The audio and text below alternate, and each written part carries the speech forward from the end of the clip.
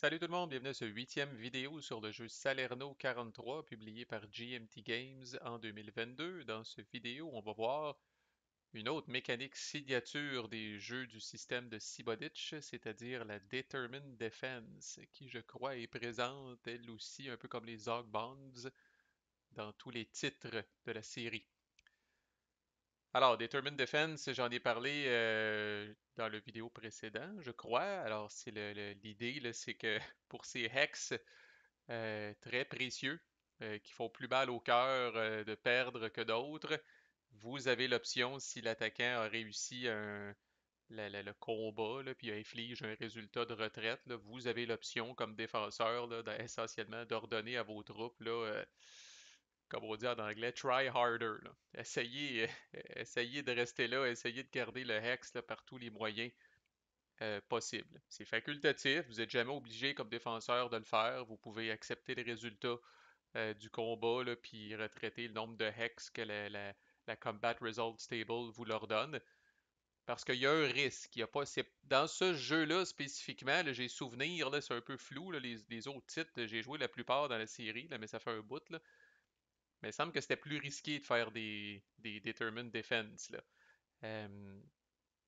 mais dans Salerno, là, vous allez voir que vous perdez pas grand-chose à vous essayer. Là, même que c'est presque c'est presque automatique. On s'essaye, puis au mieux ça marche, puis au pire ça marche pas. Là, mais c'est assez rare que vous allez laisser euh, votre chemise. Donc, on fait pas ça n'importe où, là. Il y a des fois où vous allez juste retraiter, mais tu bon, par exemple, là, euh, Batipalia ici, Eboli, qui sont des villes euh, qui valent des points de victoire, puis qu'une fois que ces villes-là tombent, ben là, l'allié commence à aller se promener, puis à avancer dans les terres, puis à se rapprocher euh, du nord, là, c'est des villes qu'on va en donner un petit peu plus, là. Même affaire avec, euh, avec les, villes ici, ici, Avellino, c'est des choke points, c'est des villes qui sont situées sur des routes en plus. Mais comme je disais, on perd pas grand-chose à s'essayer. on va voir c'est quoi la mécanique. Fait que dès que vous avez, euh, on l'a vu là, dans le Combat Results Table, euh, le résultat dans le Combat Results Table est assez clair s'il permet ou non là, un, un, Determined Defense. Je rappelle que quand le carré est rouge ici, là, quand on est dans le DR4 puis dans le DS, oubliez ça. Aucune Determined Defense est possible, mais sinon, pour la majorité des résultats qui demandent aux défenseurs de retraiter, c'est possible de le faire. Alright. Alors, comment ça marche? Vous brassez encore là, c'est tout simple, le système de Mark Cyboditch. Vous allez brasser un D6. Cette fois, vous avez quelques modifiers qui sont euh, possibles. On va les voir ensemble. Et le, le succès du Determined Defense va beaucoup dépendre du terrain dans lequel vous vous trouvez. Alors, il n'y a que trois colonnes. Premièrement, ce qu'on appelle le clear, là, c'est, vraiment c'est, du clear sans qu'il y ait de village. Et là, je vous annonce que c'est la seule pertinence des villages dans ce jeu-là, qui sont les petits points jaunes comme ça. Les villages qui ne sont pas dans du clear, on s'en fout complètement. Ce n'est que du chrome et ce n'est que de, pour votre culture personnelle, quel était le nom des villages sur ces routes-là. là mais quand il y a un village dans un clear hex, vous allez utiliser la colonne other. Mais s'il s'agit d'un clear hex sans aucun village, c'est là que vous allez utiliser entre guillemets la pire colonne, la colonne clear. Fait qu'on peut le voir comme ça. Le clear, c'est donc un clear hex qui n'a pas de village dedans. City, là on parle spécifiquement là, euh, des, minor cities qui est appelé sur le Terrain Effects Chart. Alors Battipaglia, Eboli, euh, Salerno, euh, Nocera Inferiore, c'en est toutes. Et A2, c'est tout le reste. Tout le reste, mais incluant, ça c'est peut-être la règle qui est, qui est, facile à oublier, là, tout le reste incluant du clear avec un village. Ça c'est considéré la colonne Other aussi. Alors, la grande, grande, grande majorité du temps, surtout comme défenseur, vous allez brasser sur ces deux colonnes-là. Vous allez soit être dans des collines, bien souvent, ou dans une city. C'est assez rare que l'allemand va être dans du clear pur. Et c'est peut-être justement quand on est dans du clear pur qu'on y pense à deux fois avant de brasser, parce que c'est là que c'est le plus risqué. Donc, si vous décidez de le faire, vous, vous regardez dans quelle colonne, sur quelle colonne vous allez brasser, vous brassez le dé et vous appliquez les modificateurs qui sont ici.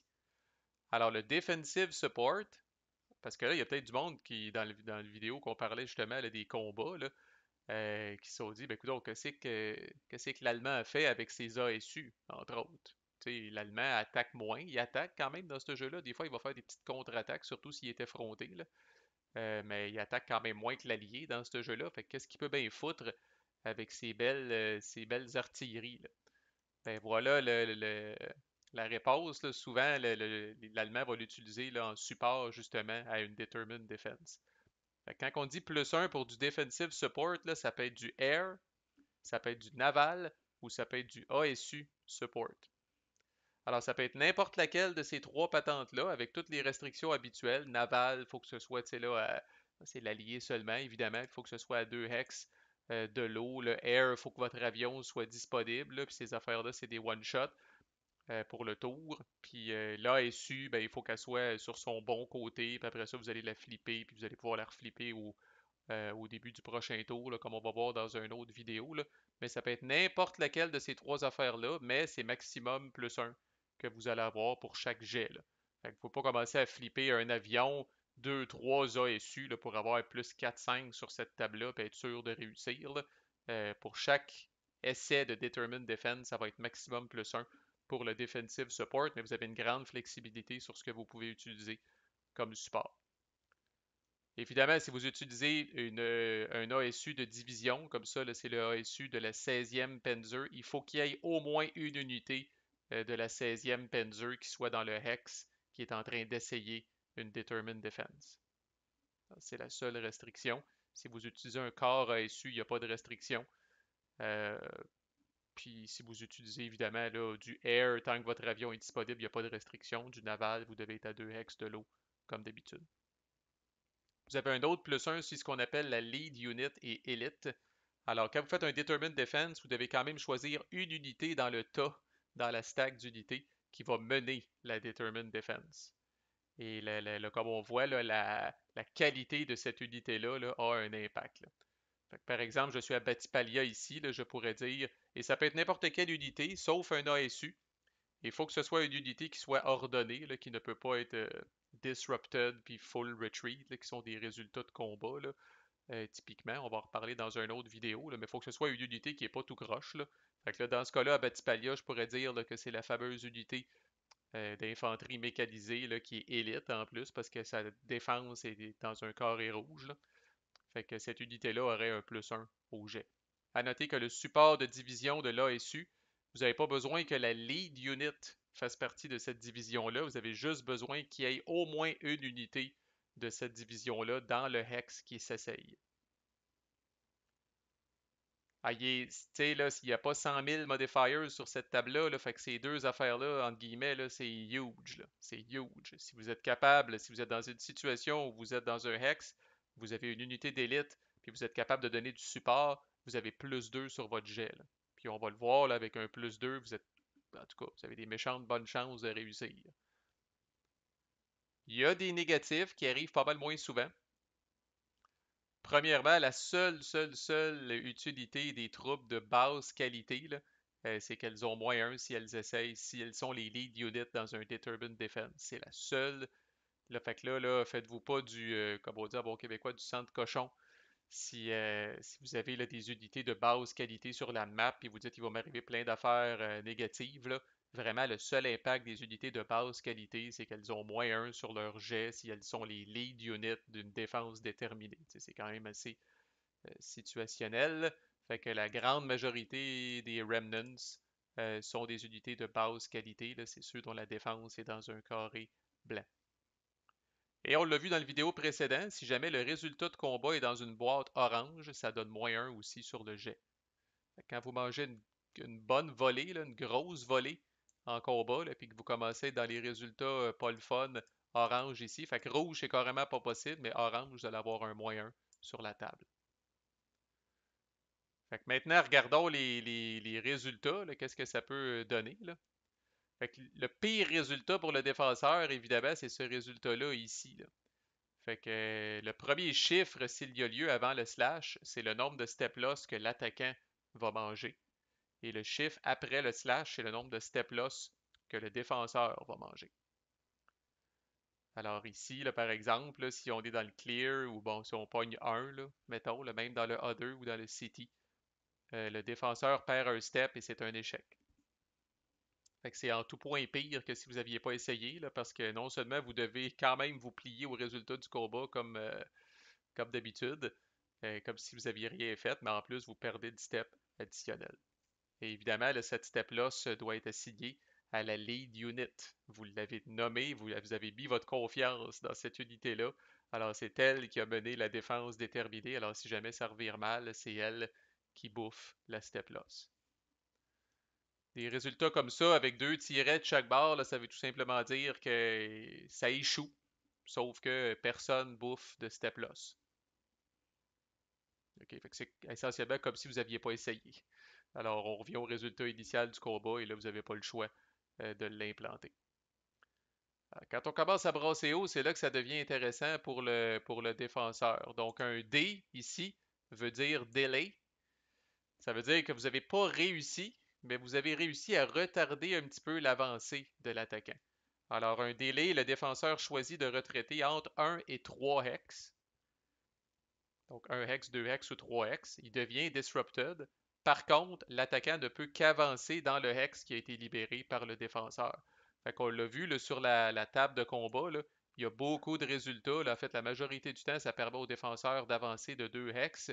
Ben, un delay au moins, ce que vous êtes allé chercher, euh, c'est que, bon, premièrement, vous pourriez décider de retraiter seulement un hex au lieu de deux.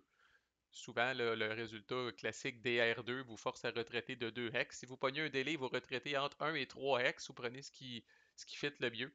Puis l'attaquant est obligé d'arrêter dans le hex que vous venez de libérer. Alors, il ne peut pas avancer de 2 ou même des fois, il y avait certains résultats quand même jaunes qui permettent d'avancer de 3, mais là, il est pogné pour s'arrêter dans le hex immédiat. Ensuite, souvent, de garder le hex, ça a quand même un prix. Fait que vous allez avoir beaucoup de résultats. Euh, puis là, ça, c'est à réfléchir quand même, à savoir si ça vaut la peine. Mais le 1H ici veut dire que vous perdez un step comme défenseur. Par contre, vous tenez le coup. H veut dire hold, vous tenez le hex. N'est-ce pas ce que vous vouliez? Alors faites attention à ce que vous demandez, vous pourriez l'obtenir. Alors, si, vous vouliez garder le hex, c'est correct, mais euh, en faisant une défense déterminée, vous avez subi encore un petit peu de perte, puis encore là, la lead unit va perdre un step. Il y a beaucoup d'unités d'élite, faites attention qui, lorsqu'elles perdent un step, je ne sais pas si c'est vrai pour celle-là, ne sont plus élites.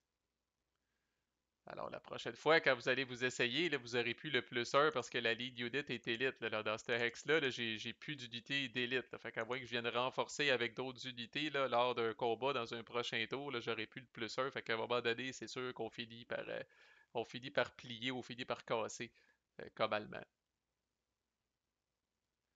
Fait que des fois, vous avez des choix. Fait que quand vous brassez 5 sur la table du clear, vous choisissez est-ce que vous préférez un delay ou vous voulez absolument le rester dans le hex mais perdre un step.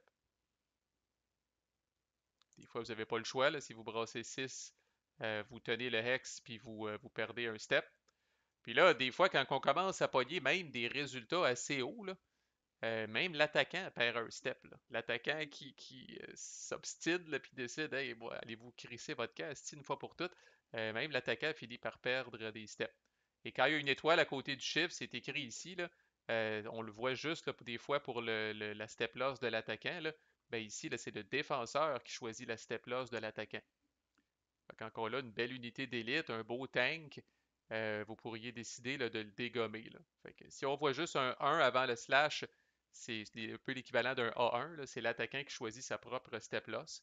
Mais si vous avez un avec une étoile, le défenseur va choisir la step loss l'attaquant. Je rappelle que les step loss du défenseur, vous ne vous cassez pas la tête, c'est la lead unit qui perd la step.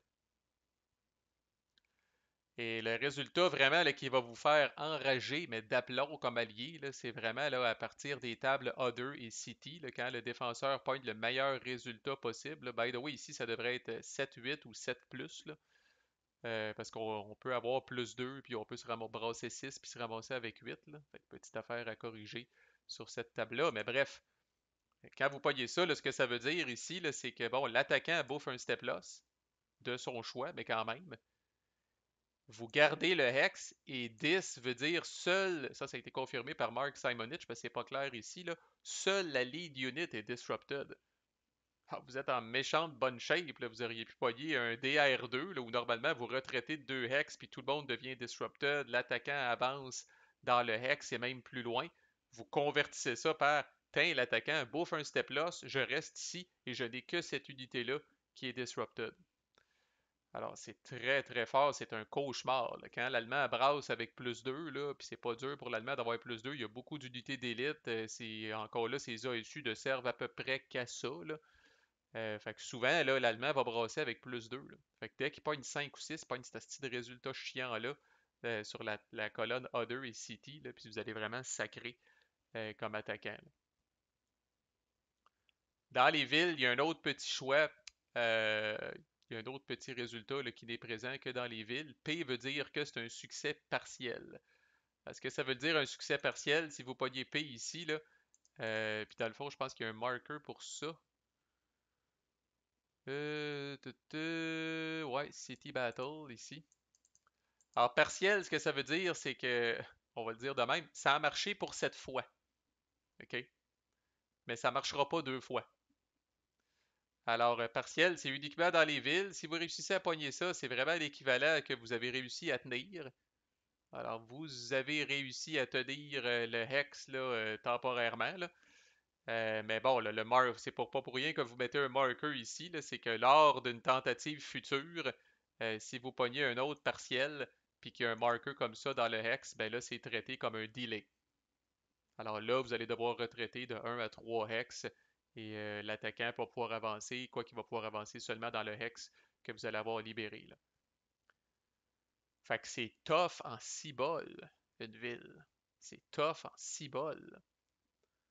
Fait que regardez ça, la colonne des villes, là, encore là, là, vous parquez des unités d'élite dans vos villes, puis vous gardez des ASU proches, puis vous vous arrangez pour avoir plus, euh, plus 2, là. Euh,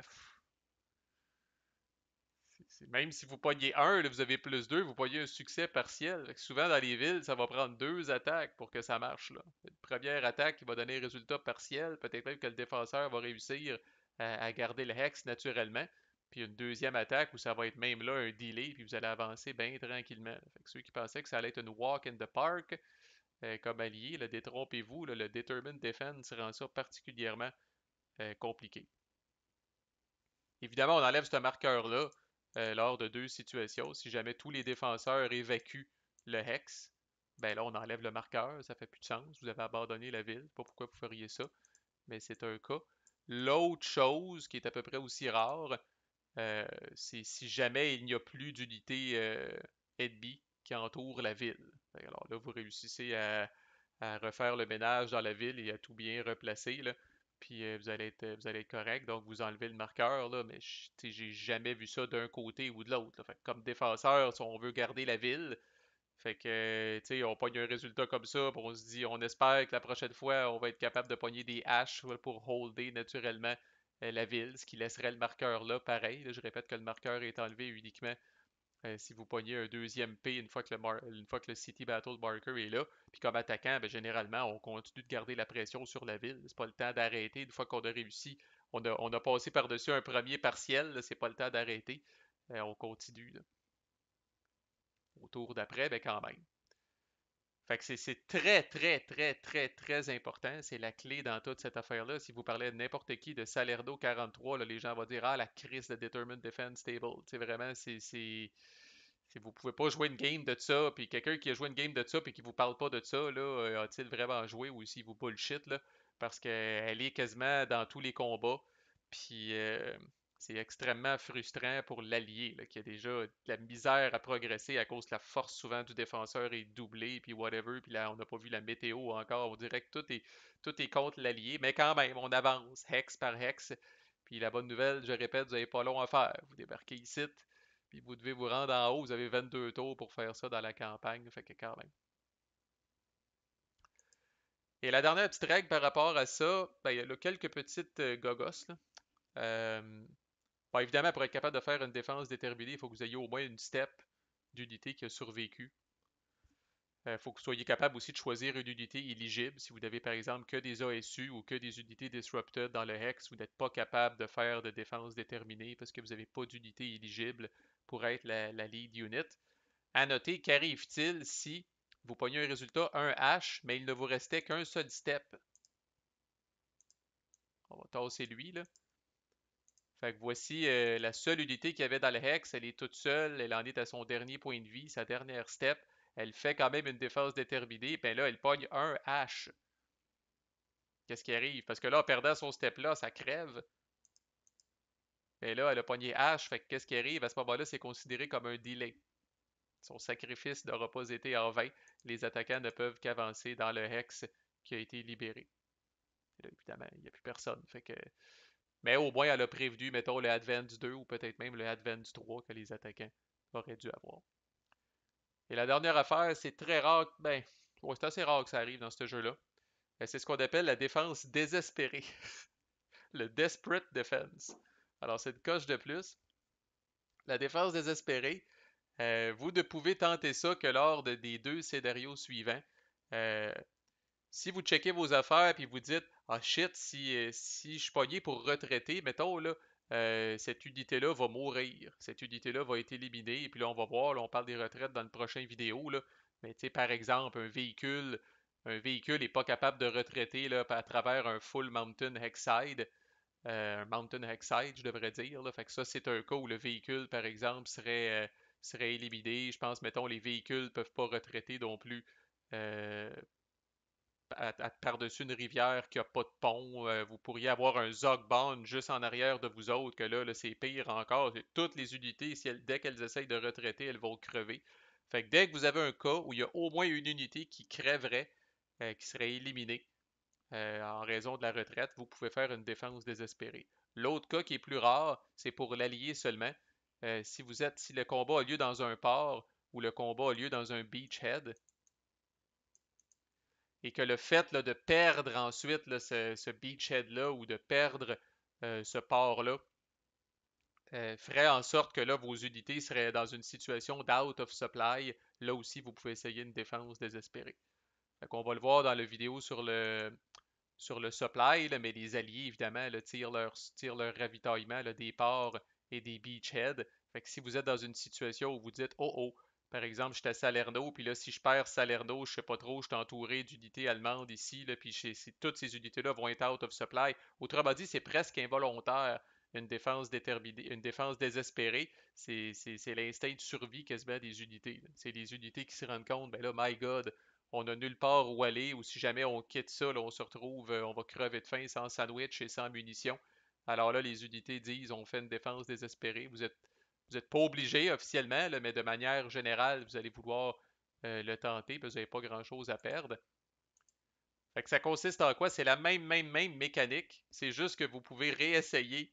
Euh, vous pouvez payer un step loss pour réessayer à volonté. Fait que par exemple, vous faites une défense désespérée, vous pognez 3. Euh, ça marche pas. Normalement, vous devriez euh, appliquer les résultats de la retraite. Là. Ben vous allez perdre un step loss comme défenseur, puis vous allez réessayer. Puis si vous pognez 4, ça marche pas encore, mais vous êtes évidemment toujours dans la situation sur le board n'a pas changé. Vous êtes encore dans la même situation. Ben, S'il vous reste des, des, steps, vous pouvez perdre un autre step loss pour réessayer jusqu'à temps que vous réussissiez. Alors, au prix d'un step loss, on réessaye puis on browse. Fait qu'évidemment, c'est très coûteux, mais le nom le dit, c'est une défense désespérée. Euh, vous, vous essayez euh, par tous les moyens possibles de rester sur place parce qu'il y a quelque chose de très très bad qui arrive si vous devez retraiter soit une unité qui est éliminée, une ou plusieurs, ou de perdre un port ou une beachhead qui placerait ces unités-là dans une situation d'out of supply. Euh, je vais juste aller voir, c'est probablement la lead unit qui bouffe euh, le step loss. Donnez-moi deux secondes. Exact, c'est la lead unit qui doit prendre euh, la step loss. À noter, il faudrait vraiment, ben, faut, quand même être malchanceux, mais vous pourriez même pogner un résultat comme ça, où vous perdez un step loss comme défenseur, c'est un échec, et là vous êtes en situation de défense désespérée, alors vous vous réessayez, vous reprenez un autre step loss et vous devez renommer une nouvelle lead unit si jamais la première est éliminée.